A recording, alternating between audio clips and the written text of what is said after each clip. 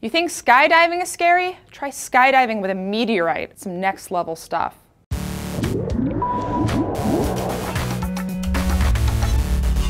Hey guys, Tara here for D News Today to talk about all of the things that can kill you over the course of a lifetime.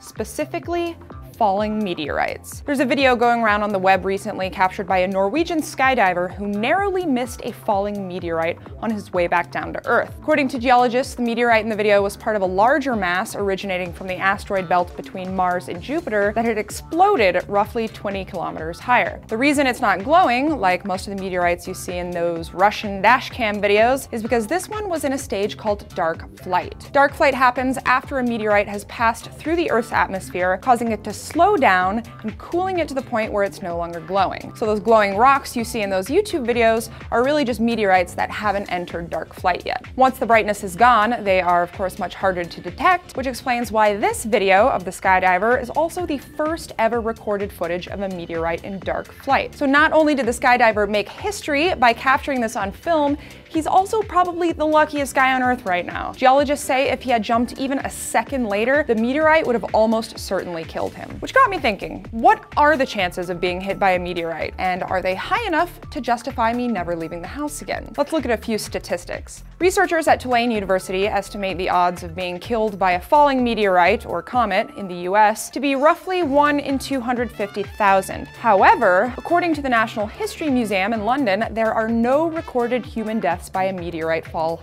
ever. A few people have apparently been struck here and there, but the actual death toll is zero. By comparison, the odds of being struck by lightning over the course of your life in the US is around 1 in 3,000, which is much higher than I was expecting, and now I have a fear of lightning, so thank you for that, internet. Finally, and most importantly, the McDonald's Monopoly game carries a 1 in 602 million odds of winning the $1 million grand prize. And while those odds are technically less than the calculated odds of getting struck by a meteorite, more people have still won a million dollars from McDonald's than have ever been killed by a falling meteorite. So as far as meteorites go, you're probably okay.